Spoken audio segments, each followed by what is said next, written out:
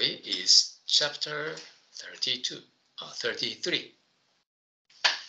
A good wife, a bad wife. Paying attention to feelings. A man working in an office was shocked when B, a colleague he secretly looked down on, received a promotion ahead of him.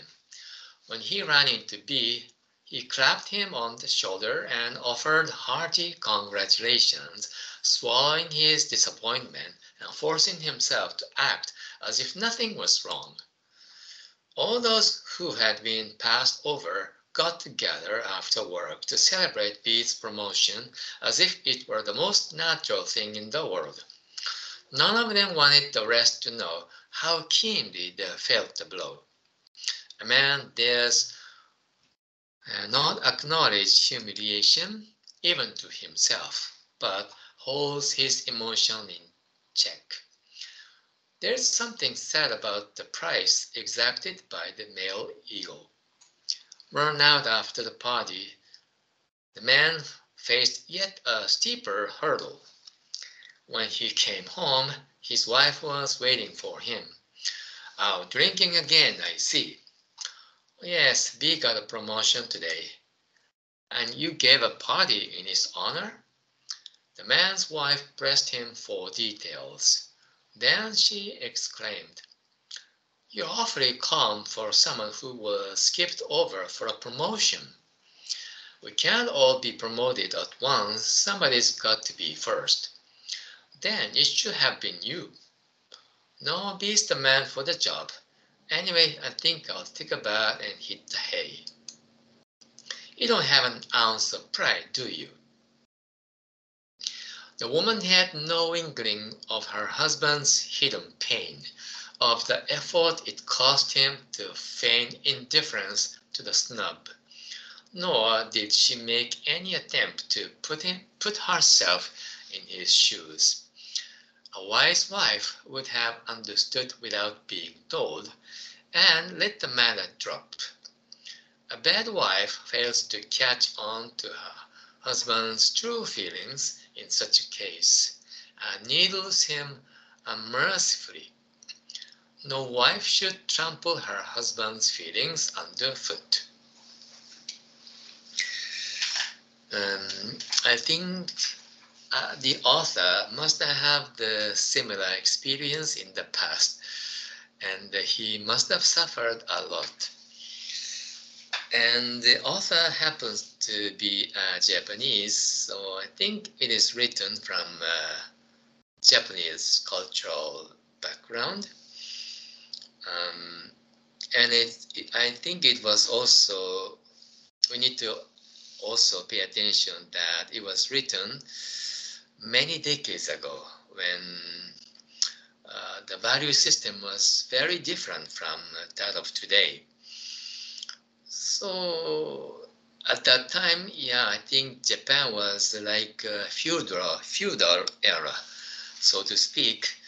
So women used to be uh, homemakers and men were the breadwinner in majority households. So that was the background this story was written.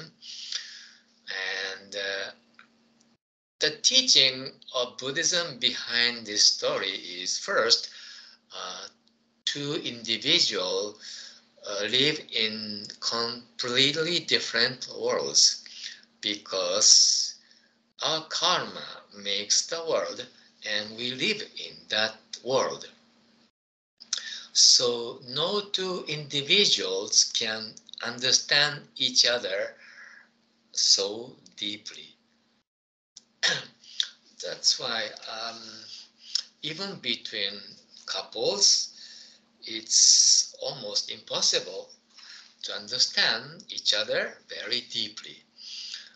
Even though to, uh, the wife and the husband have spent one or two decades already together under the same roof, it's still very, very difficult or next to impossible to understand each other's feeling. But as a basic principle um, practice for for us, uh, our daily practice should be pay more attention to to other person's emotion, not uh, just carry out our conversation following our logic. In this story, the wife happens to just uh, you know follow the logic. Uh, the log her logic is her husband should be the one who got who gets the promotion first, and uh, uh yeah, that's logic.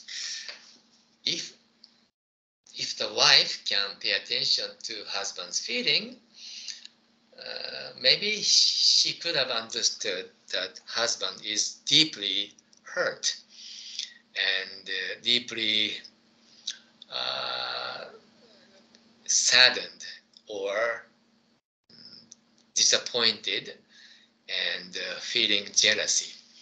Oh, it's going to be today we have a advanced session, so yeah, I cannot talk too long. So yeah, we, the message from this story is uh, we should always pay attention to other person's emotion, not just logic. Uh, and then we can improve our human relationship more and more. Okay, that's the one message from today's story. Good job, everyone. And we have an advanced group session.